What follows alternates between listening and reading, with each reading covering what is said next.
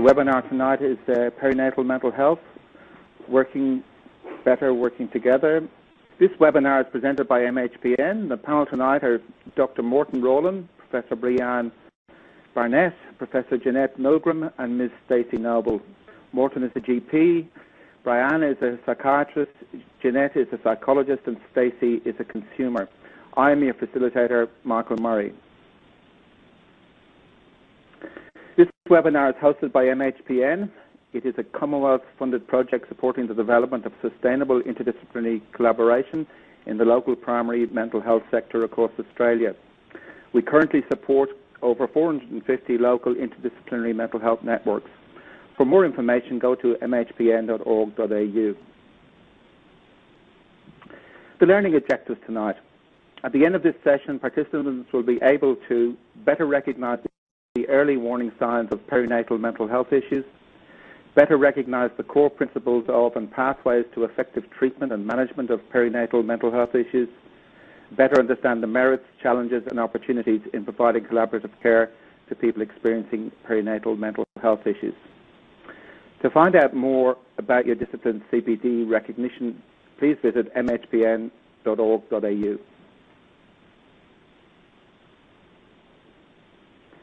The webinar is comprised of two parts. We will have a facilitated interdisciplinary panel discussion and a question and answer session fielded from the audience. So please feel free to put questions up in the message box on the right-hand side and we will keep an eye on those and present them to your panel during, um, during the evening.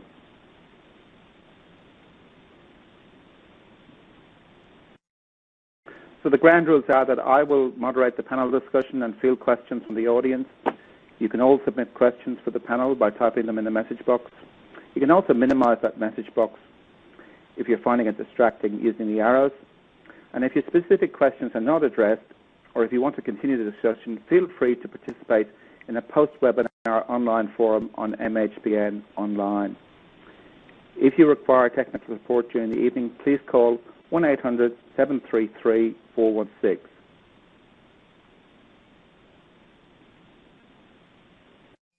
Ensure that the sound is on and the volume is turned up on your home computers for all participants. This does not apply to the panel.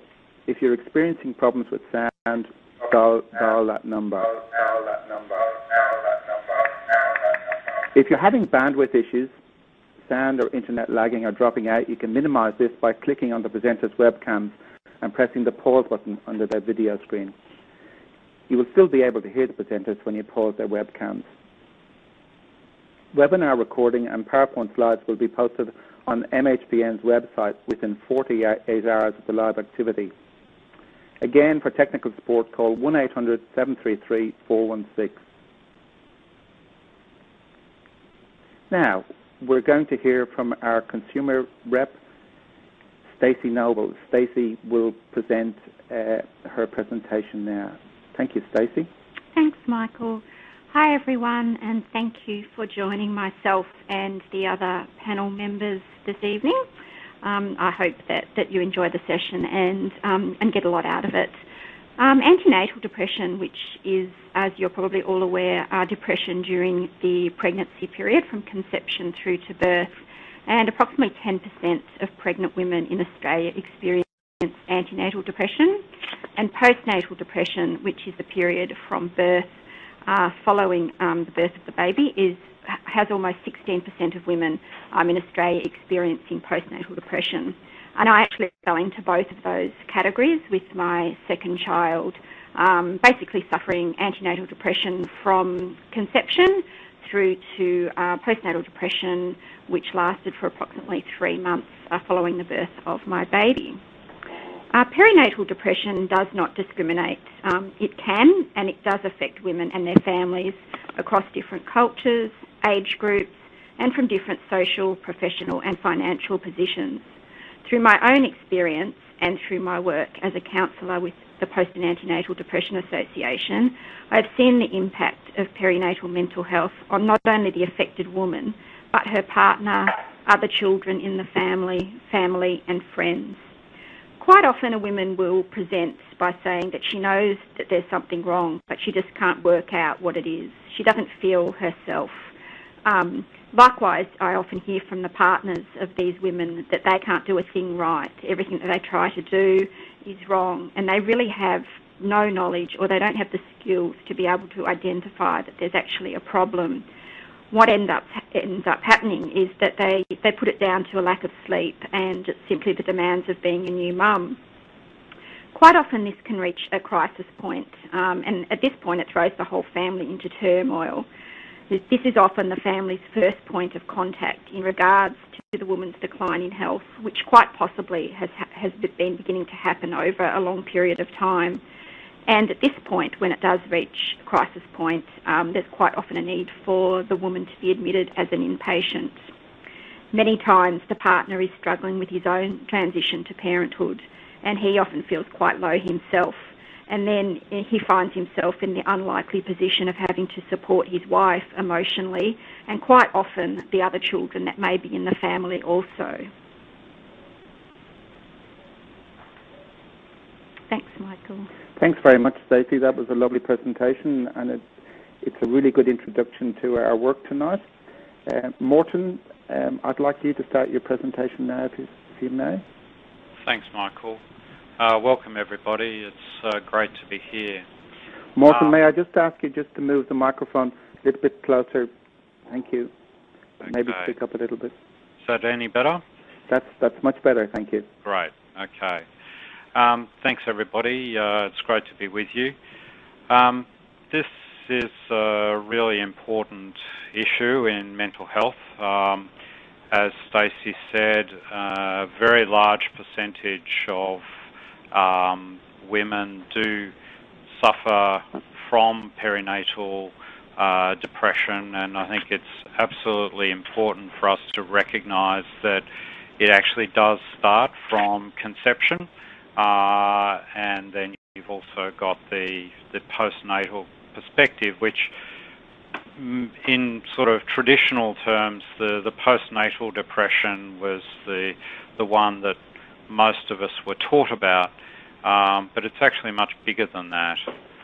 Um, there is a spectrum of severity. Certainly in my years of general practice, I think most mothers will have a degree of anxiety and the uh, pregnancy blues.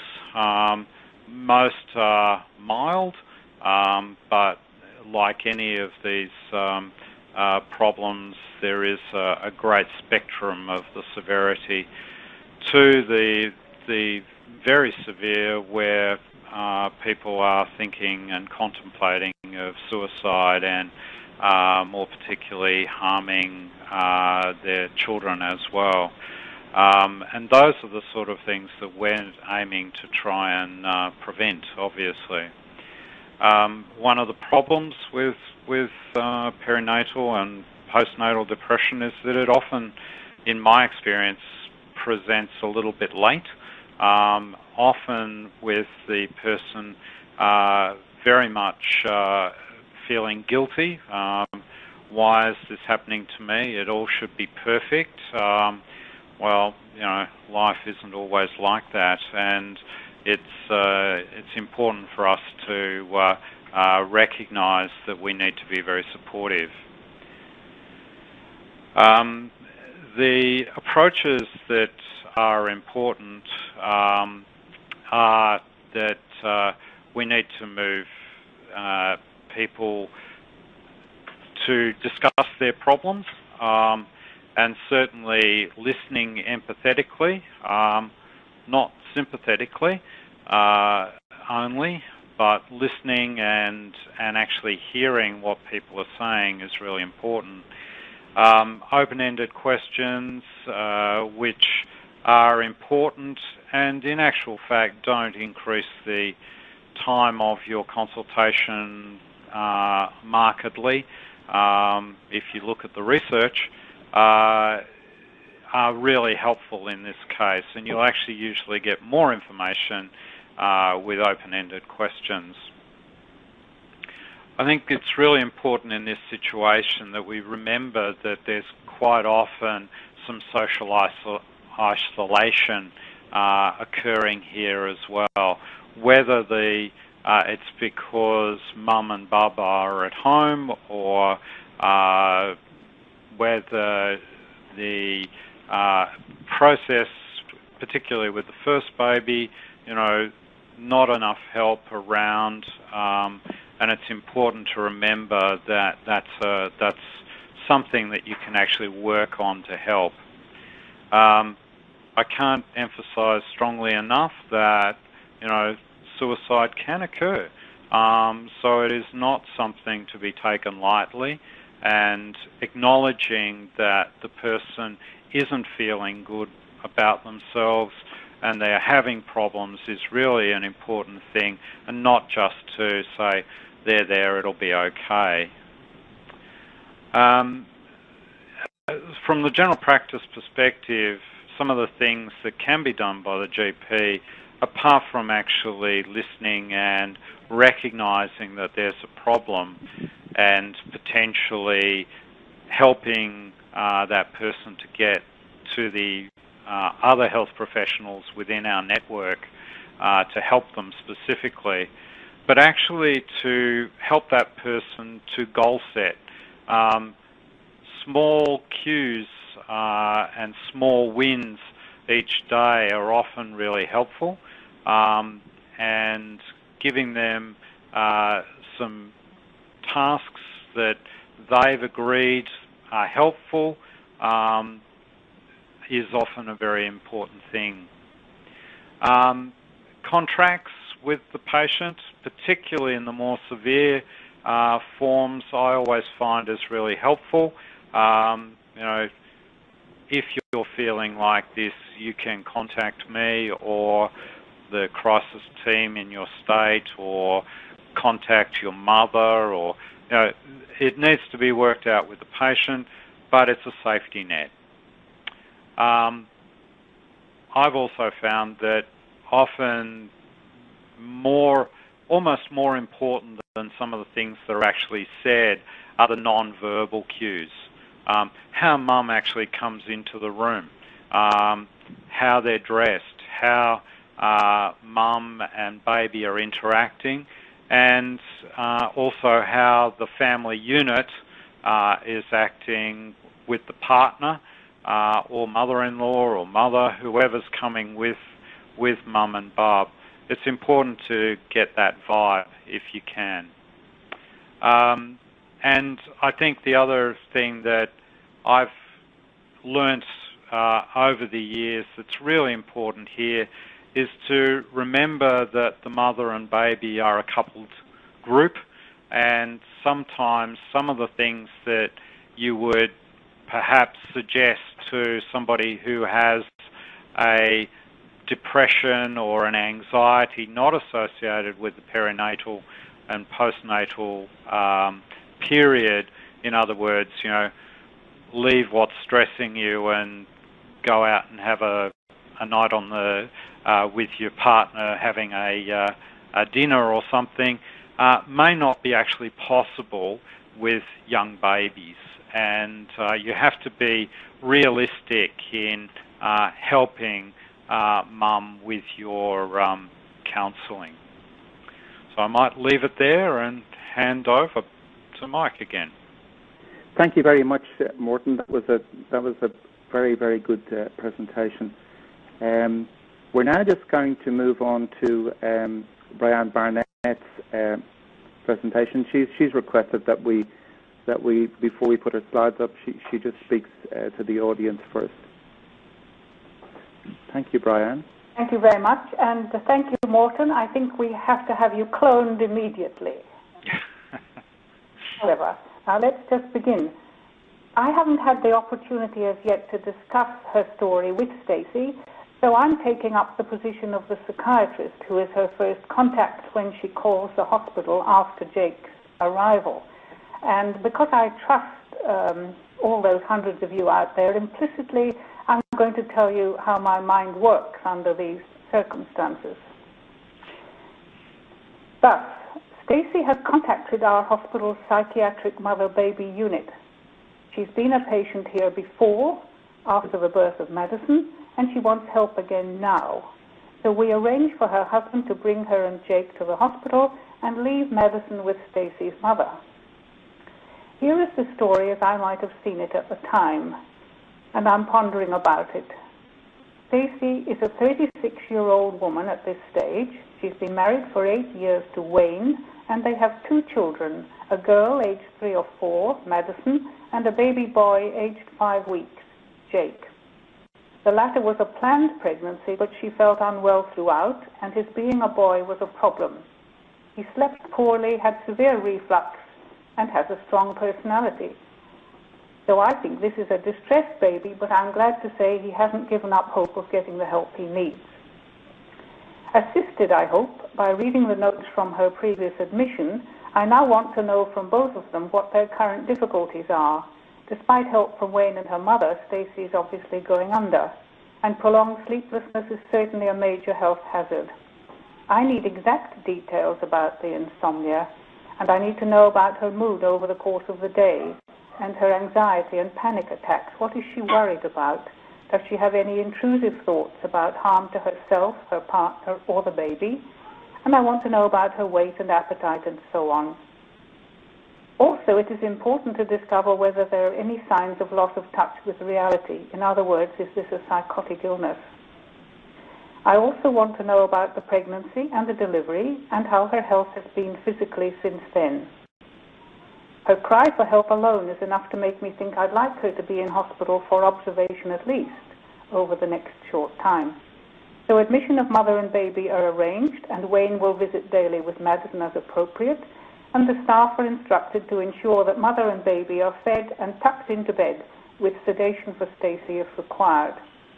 Over the following days, I need a lot more information from Stacey, and I need at some stage to talk in depth to Wayne and to her mother because they may also need help.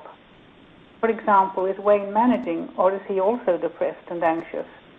Did his own mother perhaps have similar problems and he found it hard to deal with them? Stacey's mother certainly had similar problems and I need to give her a chance to talk about them. I will also need to make sure little Madison is supported as I do not want in another 20 years to find another anxious, potentially depressed woman in this family. This comprehensive plan will co- require collaboration, and no one person can provide all that's required to help Stacey and her family. I will be pulling in many team members. Now, could we have the first slide? Thank you. So some of the missing information, what and why, and there are lots and lots of questions that I will need to have answered before I can possibly put together a plan to help Stacey and the family. The second slide. The previous hospital admission, what was, what was the diagnosis? And it followed an extended period of sleep deprivation. Uh, what exactly did that involve, and what else uh, happened over that period of time? Was she repeatedly, perhaps at her GP, worried about the baby's health, or something else of this nature? What was the diagnosis? Postnatal depression is a pretty useless diagnosis. It can cover such a lot of different things. What was the treatment? I suppose it, we have to say it was helpful because Stacey has applied to the same hospital again. But was the diagnosis adequate and was the treatment adequate is what I'm wondering. And of course, were the couple warned to obtain help early in her next pregnancy because an illness serious enough to have the mother in hospital is likely to recur in the next pregnancy. And I, um, I would imagine that someone tried to tell them about this and how they could deal with that. Next slide. After discharge, what was offered to Stacey and the family to enhance their resilience? This is a woman who's been anxious and depressed most of her life. We could, if we intervene now, help her to become more resilient in the future. We can offer her ongoing therapy for herself. We can offer couple therapy. We can offer mother-infant relationship work. And, and all of this, I would expect our mental health nurses or psychologists to take on. I want to know if medication and other treatments were offered and were they acceptable to Stacey? What side effects did she have, and what did she find uh, useful? Next slide. Other things that I'm thinking about at this time, before I've um, even seen Stacey, is how, how is it that she wasn't identified and helped during either pregnancy? Um, given that in the public system, at least, we have mandatory sets of psychosocial questions and depression and anxiety screening and so on, all of which goes on antenatally, how is it that Stacey slipped through the net? How is it that she doesn't seem to be able to tell health professionals when she's not well? Has she always had to solve her own problems? Is it that she needs approval from people and she tries to be a perfectionist and therefore when things are going wrong she feels bad about herself and feels it's all her fault? This is a problem that many women have. And I'm wondering, the next slide please. What else is going on here? When Stacey herself was born, was her mother depressed and anxious? Was her mother very ill when her sister was born? Because Stacey's been anxious, she says, since around the age of four, which I would have thought was around the time her sister was arriving. And I need details of what happened in adolescence when she got depressed. And I wonder why her father and sister are not mentioned or any grandparents. She notes that Jake has a very strong personality, and I'm wondering whether uh, her sister is a bit like this, or perhaps her father. And she says, and this is clearly something that's very important for her, someone's hungry, and I'm wondering who's hungry, hungry for what, and what do they want from whom. There clearly are a lot of bits of information that, that I will need to be able to put together a package that will help Stacey and her family. Thank you very much, Brian. That was a that was a very good presentation, um, and you certainly uh, raised some questions which many of us would have thought about, but some which we wouldn't have. Thank you very much. That was was very nice. Now we'll have we'll have we'll hear from Jeanette Milgrom, um, our psychologist. Um, thank you very much and I'm really pleased to be here and uh, with uh, an audience out there and also with my colleagues, uh, Brian and Morton. Um, it's great to be talking in this multidisciplinary way. And um, Stacey, thank you so much for sharing your story. Um, I'm a clinical psychologist. I was asked to um, react to your story um, with some thoughts from a psychology perspective. And so what I've done is um, covering some thoughts that come both from my knowledge in the field, from um, my um, decades of research in the area, as well as from my clinical um, uh, work and how I would um, be thinking about what's happened to you, Stacey. Mm-hmm. Of course, as Brian says, you know, it's, it's a very short snippet, and there would be many more questions I too would like to know. But I've done my best um, with information I have. So uh, as I started reading your story, Stacey, um, I started thinking, well, um, it might be helpful to think about um, what led to Stacey's um, depression. Um, and uh, we find that uh, a very useful way of thinking about what triggers depression is a biopsychosocial model. And um, our best understanding is that a combination of biological, psychological, social, and historical factors combine in an individual often to tip the balance into postnatal depression. And um, we can understand from Tracy's brief story that there are some vulnerabilities that have been identified as very important predisposing factors. So um, Stacey talks about her mother's history of anxiety and her own personal history of depression and anxiety. And the big five um, of, of, risk factors, and doesn't mean that that's the only ones, but are, um, previous history of depression, and particularly also, um, I'm wondering whether there were any hints in pregnancy with Madison even, because antenatal depression and anxiety can predispose women. So we now encourage people to start looking in pregnancy, not just wait till the birth. Major life events, um, lack of support or low partner support, that didn't seem to be an issue in Stacey's story. And um, previous depression history is the other of the big five. So there were two of the big five there in the snippet. And um, and so Stacey, what was uh, quite striking was that Stacey did not seem to have received treatment from a psychologist for previous episodes of uh, depression that she had had or anxiety since the age of four, which might have helped to develop coping skills and perhaps deal um, in future when she noticed these symptoms recurring. I could have the next slide, thanks. Uh, like Brianne, I was quite interested that Stacey did not disclose her anxiety and panic attack after the birth of Madison, but we know that's not at all unusual. That is a very, very common story. And so uh, professionals such as yourselves working in the field need to be very um, aware of reasons behind this to best support and encourage women um, in the perinatal period. I imagine, Morton, when women come to your general practice, they may present with other things rather than directly with how they're feeling. And, um, and we know that there are many reasons why women find it difficult to, to disclose. Um, living up to other people's expectations, fear of stigma, and many others.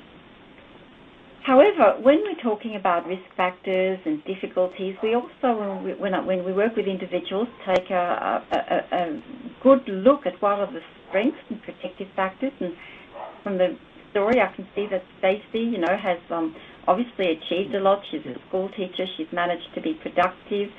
Um, she's got a confidence even when she was having difficulties with Madison in her strategies. She has sought help um, it obviously was faster after Jake, but that's a, a terrific um, strength, and and had a, has a supportive partner. But but despite this, it wasn't until Madison was five months that Stacey felt she needed an admission. And so um, I guess that we're now working very much with our multidisciplinary colleagues who might see um, pregnant and postnatal women before they come to a psychologist to um, engage in screening exercises because many women um, do not make it very obvious that they're depressed. Um, they may present looking um, from the outside okay. And so I guess I'm asking the question, you know, where along the line and which professionals did Stacey come into contact with where screening uh, for depression and anxiety could have helped earlier? And there we usually turn to maternal and child health nurses and GPs who can play such an important role. Can I have the next slide? Thanks. So, um, who can screen for depression? Um, anybody can, and I guess that we're also moving not just from looking at professionals who come into contact with women around in the perinatal period, but families who become aware that of what the symptoms of depression are. And uh, many of you probably heard of the Edinburgh Postnatal Depression Scale, which is being used as a very user-friendly, almost icebreaker 10 question which raises uh, the profile of distress when it's there.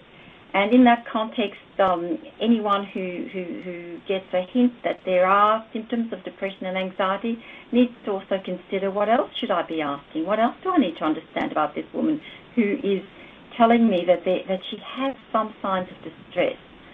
So um, there are much broader assessment um, areas that one needs to cover, obviously, to get the full perspective of Stacey's story, as Brian so elegantly covered. And um, the Beyond Blue clinical practice guidelines um, provide a, a, very nice guideline on that. And there's also a, a, very nice online training program that we've been involved with in developing on the website for learning how to screen and recognise signs of depression and anxiety, and it's free right on the Beyond Blue website. But I guess that I would expect all professionals working in this area to be very familiar with the symptoms of depression, um, such as DSM-4 criteria. So that's um, um, right off, as, as, Brian was saying, I'd like to know more about, you know, how she's been feeling, whether she's had depressed mood, loss of interest, weight appetite, sleep, psychomotor, fatigue, worthless feelings of worthlessness, guilt, indecision, and importantly, we always, um, as Morton said, want to be very aware of the possibility of uh, suicidal ideation and to immediately um, engage in a risk assessment um, process if that seems to be the case. Can I have the next slide, thanks? So, um, given Stacey's experience with Madison, um, like Brianne, I wondered about um, what um, what psychopreventive support she was given in her second pregnancy. Um, was anyone alerted to the fact that she had had a difficult period with Madison and therefore with Jake she was likely to have some difficulty? Um, was Stacey's ambivalence over um, giving birth to a boy, you know, related to her self-efficacy and anxiety? I'm starting to raise questions that might be relevant some of the directions that we might um, engage in if we decide to um, go down the line of psychological treatment. And, and um, like Bryanne, I would have liked to have seen that the initial um, um, effort that uh, and the good gains that Stacey no doubt had by being in the mother-baby unit were followed by um, by post-discharge help. And Stacey may have found psychological treatment um, very helpful, both to deal with um, historical problems and um, and also um, her current issues. So um, it was great that Stacey acted quickly in seeking help with Jake and sought another mother-baby unit admission. But what would help her after discharge? And if I could have my last slide.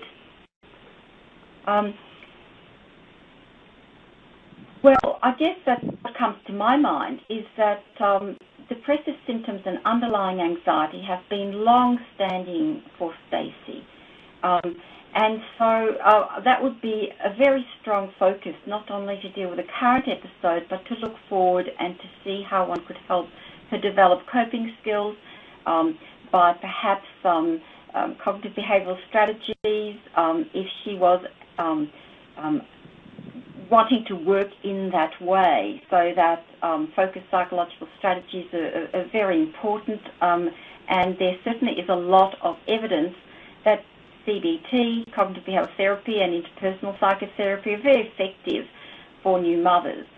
Um, I think that um, as I do in my own work and in my our clinic, um, it needs to be, however, tailored to new mums. Like you can't have a mother doing relaxation for 20 minutes three times a day when you've got a toddler and a baby. And so, for instance, what we do is we teach relaxation on the run, how to sort of learn um, ways that fit in with being a new mother.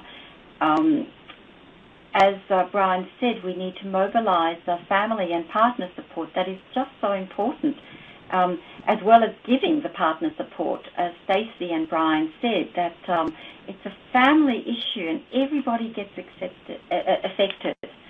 Um, mother-baby issues may also arise. It doesn't with all women, but uh, when it does, it's very distressing for both mothers and babies where the depression has gotten in the road of um, a joyful interaction. And what's so rewarding is that intervention um, results in uh, the ability to reconnect and re-establish um, relationships when um, depression has occurred. But these need to be targeted in their own right. So these are just some thoughts about um, where to go and, um, and, and what I thought when I read your story, Stacey. Thank you very much. Thank you very much, Jeannette. That was a that was a very very interesting presentation, and it's raised many issues. And many of our participants um, throughout Australia have, have commented um, before and during your presentation on many of those same points. But um, we should, as we're all consumer orientated, I, I think we should hear again from Stacey. See, Stacey, would you be willing to to add in some perspectives on, on what you've heard tonight and, and your experiences as well during your pregnancy and postnatally? Yeah, absolutely, um, Michael. Um, I just wish that um, Jeannette and Bryanne had have been around for me when I was experiencing this because uh, what you two ladies have mentioned um, this evening would have made such an incredible difference um, to my whole experience and um, even just hearing it without being actively involved in your, your treatment and care, I know that I would have benefited um, hugely. So um, to wrap up and basically um, to look at the care that I received into in comparison to the, the treatments that you ladies would have provided, um, was that I basically had um, no screening from my GP. Um, my initial consultation with my GP was to confirm my pregnancy, and my next um, consultation with, with anyone at all was some 12 to 14 weeks later when I had my first obstetrician appointment. And it was during this period um, that I was at my absolute worst, um, suffering nausea, completely isolating myself, um, and basically reaching crisis point where I was contemplating uh, termination. And I was also um, considering what I could do um, to myself as a way of, of releasing myself from this situation. Um, I, I think that you know, had I been screened at that initial GP appointment, uh, where there were in fact um, details and a past history of my experience of being in a mother and baby unit with Madison, um, and also, um, you know, a history of my, my mental health. Um, but this, this question was never never asked. So that period for me was particularly difficult. And by the time I actually had my obstetrician appointment, I was probably through the worst. But um, and being at that point in time, the fact that I had improved slightly um, meant that um, that prevented me from then saying anything because I felt that that the worst was over, despite going on to have um, a very unwell and um, extremely emotionally draining remainder of the pregnancy. Um, I, you know, as I said, having been assessed, I think I, I really think it should be routine that with any uh, woman who presents to her GP to confirm a pregnancy, um, to, to, check whether she's pregnant. I think that there should be a routine uh, mental health history completed, um, regardless of whether the GP feels that you know this might upset the woman or or be, is intrusive. I really think that this intervention and this question needs to be asked very early on in the piece.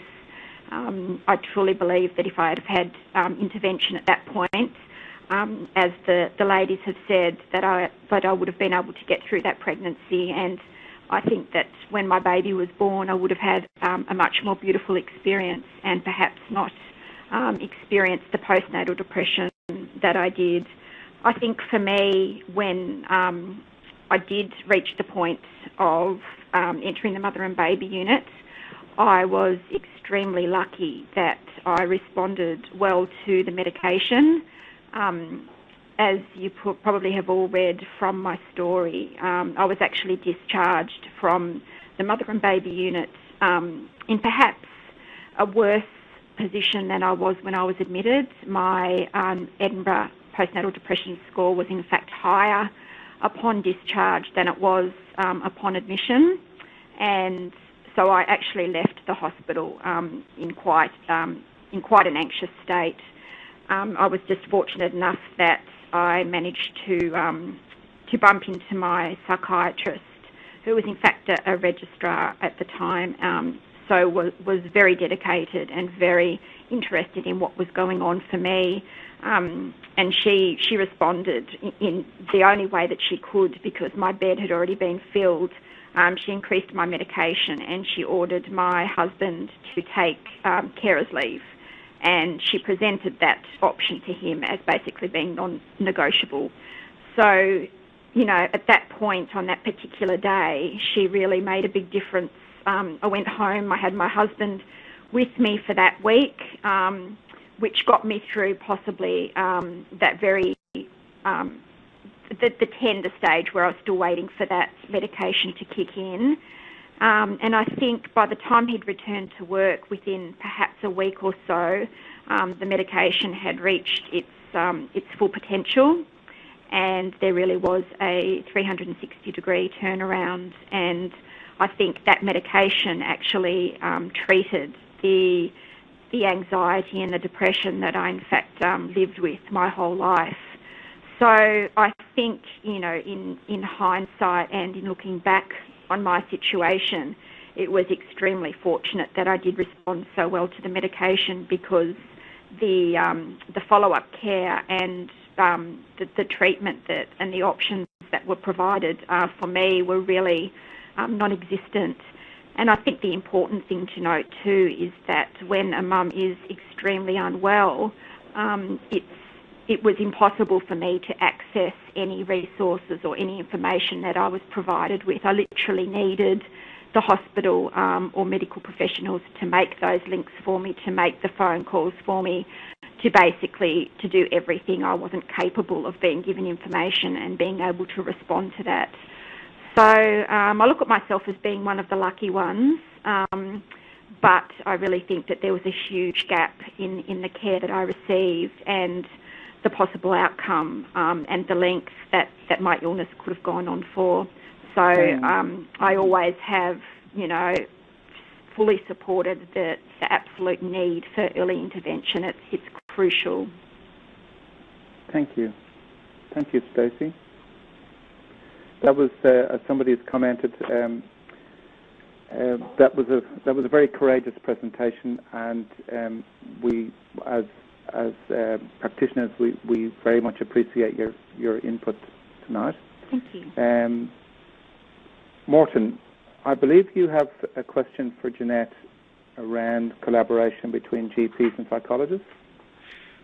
Yeah, thanks, Michael. I, one of the things that uh, I'd like to talk with Jeannette about is what sort of uh, psychological approaches uh, would be of benefit and how can we better collaborate with um, our psychology and mental health nurse um, colleagues uh, to uh, help in this situation?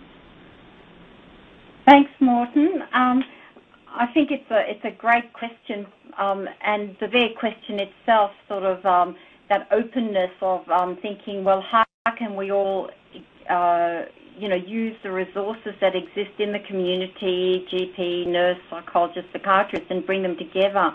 And I think talking to each other is terribly important. You know, I I often experience um, women who go to their maternal child health nurse and then their GP who aren't and the psychologist, and the three aren't necessarily talking to each other. So collaborative, um, keeping each other in the loop, um, working out um, collaborative management plans. I think that the GP plays a very important role in being there in a sense as the anchor, the base, and being able to do some um, very good supportive strategy, and depending on their skill, more than that. And um, and it's a question of um, using the other professionals as you need. Like, oh, I wonder if I um, need more of an assessment on this, or um, I think that um, it might be helpful to, um, for Stacey, for example, to um, to to get some very uh, focused help with behavioural techniques for her anxiety. So um, it's about making suggestions and keeping the lines of communication open, and vice versa. Psychologists really need to um, give very brief but constant feedback to their um, to, to, general practitioners and nurses, so that everyone's in the loop and we are working together to support um, a woman, Stacey. Thank you very much, Jeannette and Morton. Um, Stacey, I, I, believe you had um, a question for Bryanne around medications. Uh, yes, Bryanne, I was just wondering um, more so, um, I think from my experience, I had um, attempted to to take medication previously, but I always had um, side effects, headaches, um, you know, all of those sorts of things. So I gave up on medication, um, and it wasn't until um, I was in the mother and baby unit that I found one that um, that suited me. So I was wondering, um, and through my work with Panda, I also find women that um, sort of have to change medications because um, they, are either not working or they don't agree with them.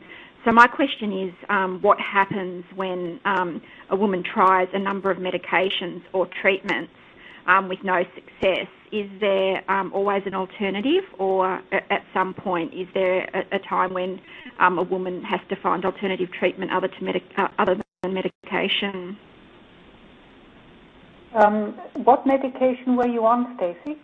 Um, initially, I look. I tried a number. I tried Zoloft. I tried um, Cipramil. I tried.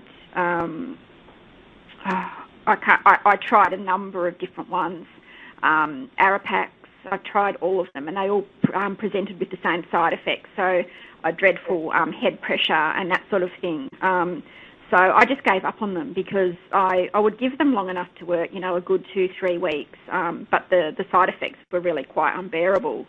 Um, and, and I'm currently on um, Lexapro, which is the one that I've been on since I had Jake, and um, I've had no problems on that one. So it's, was a, it's a newer yeah. version of one of the ones you had before, all of which are in the same group, but in fact, um, just because one of them doesn't suit someone doesn't mean one can't try another one. There are other medications that I, I might have tried, but um, we need to be thinking here that your diagnosis is not just postnatal depression here. We've got an anxiety disorder, so we definitely need something for the anxiety. Most antidepressants are also quite good for anxiety, but a lot of women are a little intolerant of that particular group of medications, which are called uh, SSRIs, selective serotonin reuptake inhibitors, because um, they do provide nausea and headache and so on, especially to begin with. And I think often people are not uh, uh, careful enough to start on a very small dose and let the woman get a little bit used to the medication before you increase to the to the standard dose. Hmm Now, medication by itself is never enough. That's one of my hobby horses. So that um, if you offer or insist on medication before the woman trusts you and you have a therapeutic alliance with her, she's going to get side effects and it isn't going to work. Um, Okay, So I think it's very important to build up the relationship, use medication appropriately if you have to, and to remember all the other things you need to put in place. And it's it's not been my experience that people need several iterations of medication. Uh, usually, the first one seems to be all right. So, it, it, to some extent, I think it's it's to do with the therapeutic alliance and, and what the woman um, is willing to try. hmm And and I'm very conservative about medication. If I can manage without it, then and just uh, doing psychotherapy, then that's what we do. Thank Okay. you. Morton, I, I get the feeling that you want to say something there. Yeah, look, I, I would just like to um, echo uh, what Bryanne was just saying there. I think the therapeutic relationship and the relationship between um, the patient and their doctor is really critical in uh, these areas, particularly around mental health. Um, I certainly also have had the same sort of experiences in that um, when you do uh, know the patient well and there is a trust relationship, things certainly go much more smoothly and more, I think, comfortably for the patient than where you are looking at uh, a more episodic uh, emergency type uh, relationship, which um, can sometimes be very difficult uh, both for the clinician and also for the patient to get the most out of the, out of that relationship. So I think it's important for uh, us as clinicians and GPs particularly because we tend to have more of a long-term relationship with our, our patients um, to make sure that we do maintain that relationship through thick and thin. And it, That's, that is interesting, actually. May I just may I just jump in there? Yeah. Um, Sure. I just like I just like to ask Bryanne a question. It, it's and and some of our attendees have have touched on this in their questions. It seems to me as if the person who's got the least time with Stacey has got the most contact with her. That's the GP. Uh, Bryanne, can you can you think of any way that we can all collaborate better um, in the care of Stacey? Well, I suppose this is this is one of the things that um, is again a particular hobby horse of mine. I spend my, life trying to get people to collaborate. But one of the, the ways that that I do it is by making sure that all the people we see have a GP referral and that I'm in close touch with the GP. And it is important to remember, as, Morton said, that long after they've finished seeing me, patients will be going back to their general practitioner. A problem we have um, in some of the areas where I work is that, unlike in Britain, people don't have to have a GP allocated and stick with that person, and they can often hop from GP to GP, which means that nobody has the previous history of this person. I don't see that you can do a great deal in five to ten minutes unless you have got that history uh, already at your fingertips. And one of the advantages of general practice is that presumably you already know the patient and the family. And if you don't, then you're certainly behind the eight ball. But I, I don't see why, in fact, um, if a woman is pregnant, uh, the nurse in the practice can't ask her some questions and the way the midwife would do at the hospital and give her an, Edinburgh perinatal depression scale to complete. Some of that can be done outside the GP's time, and the GP and, and the nurse can have a look at the results if they wish. It occurred to me, listening to Stacey, that she'd possibly been a private patient. Yes, that's correct. Yes, and you see that that is, is a hazard at the moment, and we're only just beginning to get the system of doing the psychosocial assessment and depression into the private system.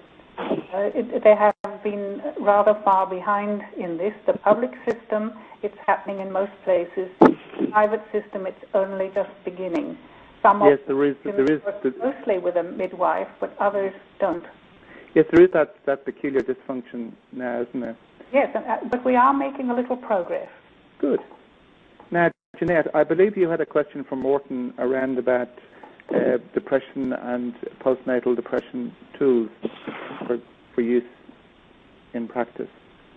Um, yes, and if I if I can just lead off from the discussion right now, I think that uh, another quite helpful um, tool that uh, we sometimes um, when we um, refer to a woman who uh, uh from a GP and then we assess her, then we will uh, create a little card that we call, you know, collaborative networking amongst health professionals, where we write down the names of all the professionals. We ask her to bring that along to each professional appointment so everyone knows who everybody else is and there's some communication happening. Um, what I was going to ask um, you, Morton, is um, in terms of GP practice, you know, what are the ways in which you find the most helpful way of identifying women with depression? And you know, and uh, I'm, I'm always curious about what is the best support that we can offer to GPs in the identification and screening of women. Um, because you know there, there, there are GPs like yourself who are very well versed in this, and there are others who, who may not have as much experience. Um, so I was just wondering about your thoughts about how to best, uh, how you think GPs best go about identifying it as a routine exercise.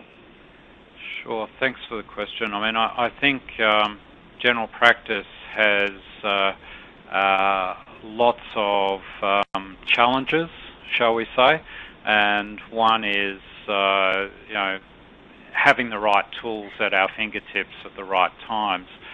Um, one of the problems is that certainly making sure that uh, we're teaching our GP registrars about using uh, proper screening tools is really important. Um, I freely admit that when I was trained, no such thing existed for general practice, um, and it was uh, learning how to do it on the on the job. Um, that's a little different now, and we're certainly more aware of uh, using uh, various scales. I mean, the, the K10 is probably the most commonly used in general practice, but not specific for perinatal.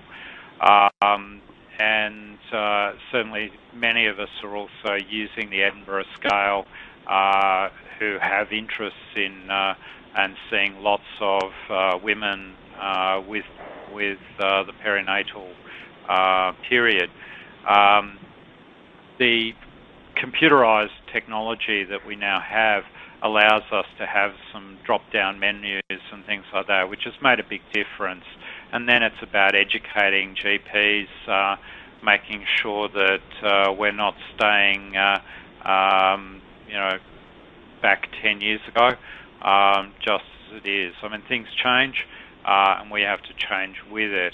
Um, I think critically, though, it's important to make sure that you listen to your patient well, and you can certainly do that in a 10 minute. And uh, acknowledge that if you have concerns, um, bringing that patient back sooner rather than later, certainly not leaving them uh, hanging for 12 weeks until the obstetrician sees them is really important. And certainly with most of my uh, young mums and young ladies who are pregnant, I make the point that I'm very happy to see them sooner rather than later. And my girls in my practice know that um, they can get in uh, at a priority if they so demand it. Um, so it's about setting up your practice uh, as well as having the right screening tools. Thank you very much, Jeannette and Morton. Stacey, I believe um, that you had a question for Jeannette around about accessing or benefiting from psychological therapies when you feel that you may be too unwell to do so. Um, yes, which which leads me back to to my point when I was in fact um, admitted to the mother and baby unit in such a, a severe state that I, I really felt that I was incapable of engaging in, in any treatment because um, I was that unwell. So that was where my question came from. That that can psychological treatment be beneficial if if that biological or that um, chemical imbalance is is too far out of control. Thanks, Stacey. I um, there's a lot of questions packed in there, uh, you know, about um, um, both the severity of how you're feeling and um, and also, you know, what what is causing it. But I think that uh, we have psychologists who work both in mother-baby units and then on discharge, and the sort of support that psychologists could give a mum um, would be different when she's in her most unwell state, and it might be much more, as um, Morton and Bryanne were talking about, about forming support, a relationship, engaging in a trusting relationship to try to um, um, help with feelings of fear and safety, and not actually starting the very focused work that's only perhaps possible once you're feeling a little more in control. Mm-hmm. Because, as I said before, we understand, and, and as Bryanne said, that it's not just a biological event. You know, there, there's things psychologically happening in your family, in relationships, and how you feel. The best approach is to um, always consider um, help at every level. So I think the short answer is that um, you wouldn't attempt an intensive psychological treatment of um, trying to uh, teach someone um, cognitive strategies of how to challenge um, intrusive thoughts when you're very unwell, but you could very much help with some supportive behavioural strategies um, to, to, to and, and forming a relationship so that um, uh, you would have had a good experience whilst in the inpatient unit of feeling mm. supported and cared for and um, and contained, which and with the particular issues you're facing at that time. Thanks, Jeannette. Bryanne, would you like to comment on, on that? Um, well, I, am not sure that, that there's uh, a lot I can add actually to, to what's been said. I, I think that if you're in hospital, you're sick enough probably to need medication, and that the medication should be sorted out and the patient uh, should have adequate rest before any other work is expected of her. And if in fact uh, she hasn't been well enough to engage in any psychological treatments before she's discharged, then I, I wonder why she's being discharged. I would like her to be attached to various services before she leaves the hospital. I want to know that all this has been set up for her and her family.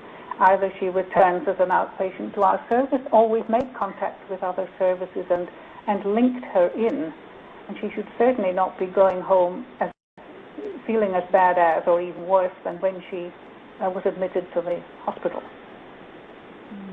We seem to it just and, and this has come through from some of our from some of our attendees. We seem to have um, left out some important people in, in the care of of um, of antenatal and, and um, postnatal patients, uh, of obstetricians, midwives.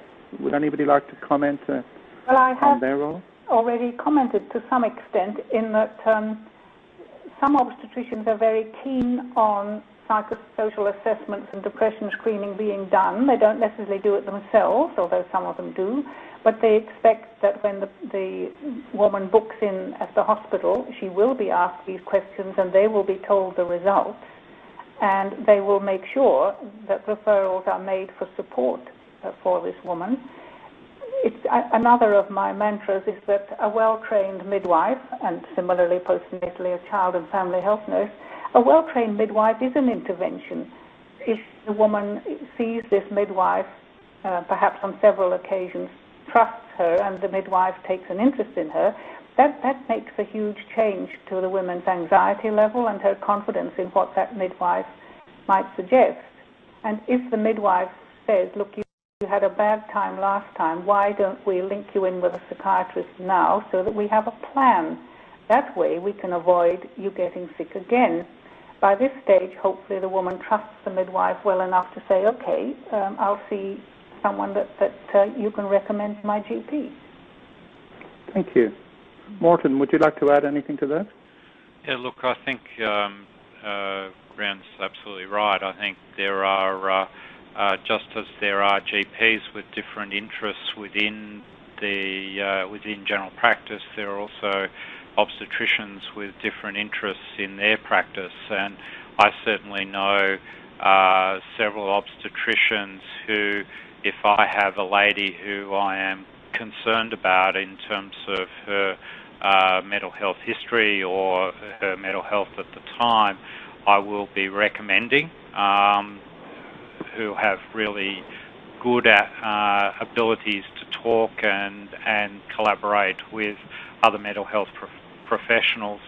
There are several, uh, just as I'm sure uh, there are there are um, uh, GPs who uh, Stacey probably wouldn't recommend. Um, you know, I think it's it's important to, if you're not getting the response that you want from your health professional, to look for another opinion um, or um, sort of make that known to your professional uh, so that some of those issues can be worked through. Thanks, Morton. Just, uh, Jeannette, may I just ask you a question? Many of our practitioners um, um, are from rural areas and regional areas where um, they may not have access to the luxury of a mother and baby unit. Um, do you have any take-home messages for the practitioners attending tonight? Just a sort of a, you know, quick five or a quick ten or a quick six? Jeannette? Oh, um, yes, and if I could just add something to the previous question, because we haven't talked enough about nurses. I think nurses, uh, we're very privileged in Australia to have a very good um, maternal and child health nurse, as we call them, Victoria, or similar in other states, uh, system, and um, and midwives also play a pivotal role. And we certainly have found that not only are they important because they're in contact with new mothers, but we've trained um, nurses um, and found uh, nurses to be able to provide for mild to moderate um, postnatal depression very effective care.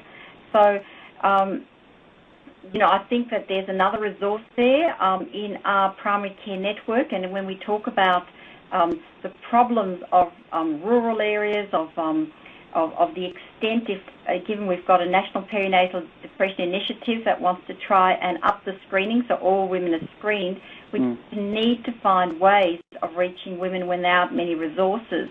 Yes. But to answer your question about the rural in a roundabout way, I think that we have to um, uh, use our primary care professionals that exist and train them up at but also be aware of when it gets beyond their level of expertise and requires onward referral to one of their colleagues. So if there's a, a, a good knowledge of that, I think we can um, use a broader range of professionals. And we're certainly exploring other mediums for intervention um, as well as, um, so for example, you know, we ourselves are, are develop, developing an online uh, training program supported by telephone counselling. Good. That's good. And um, do you have any comments at all on that, Stacey, what you're hearing, what you've heard over the last five or ten minutes? Uh, any comments? Yeah, look, I, I think um, particularly for for, for rural uh, women in in the area that I work in, which is in fact um, telephone counselling helpline, um, we're commonly presented with the fact that that there appears to be a lack of resources or these women um, are unable to link in with appropriate resources. So for for these women, we actually find that um, that online support services um, are extremely useful, and with a service such as Panda 2, we're hopefully able to provide a link to these women with um, a database that we can provide. So, uh, look, I think overall, um, basically what what I'm hearing here is that there is um, what I would consider to be a limited um, network of professionals in this in this area. When you look at the number of women that become pregnant um, versus the number of, of professionals dealing specifically or with, with a specific interest in perinatal depression, um, you can certainly see where the gap is. So the obvious um, the obvious question that I pose is is how do women access um, the, the people such as Bryanne and such as, as Jeannette when when people with such expertise and, and such a specific interest in this area are so limited. Thank you. Now, we're just, unfortunately, time always always runs by too quickly when when you're engaged. Um, Bryanne, we allowed you not to ask any questions in this segment, but I'm going to ask you to ask one of your fellow panelists one question that's occurred to you during this webinar. If, you were allowed to make one change to our health system to assist women with perinatal depression and I insist perinatal anxiety, what would that change be?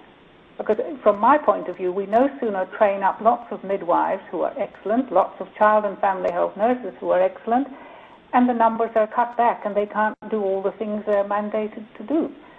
And it seems to me that if, if these professionals are well trained, they're a wonderful resource. We need more of them. Mm. Morton, would you like to address that?